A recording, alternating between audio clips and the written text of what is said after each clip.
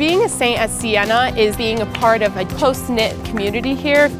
A big old pool of my friends, my family, my professors, really being able to say I'm part of something here.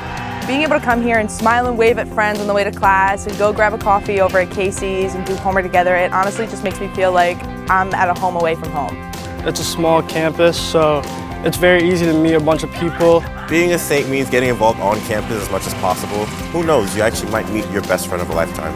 There's a special type of person who comes here, and that's seen all throughout campus. You're in a little village with your friends, and that really brings the community aspect of Siena.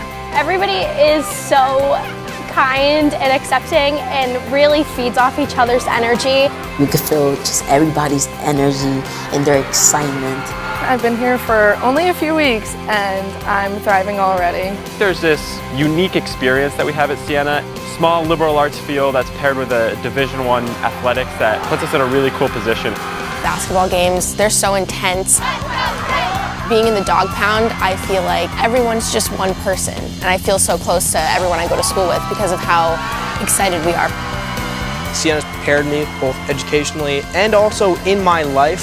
Siena is the number one place, at least for me, especially in times where I was lost. I was able to find myself in a community of people that supported me to become the best that I could be.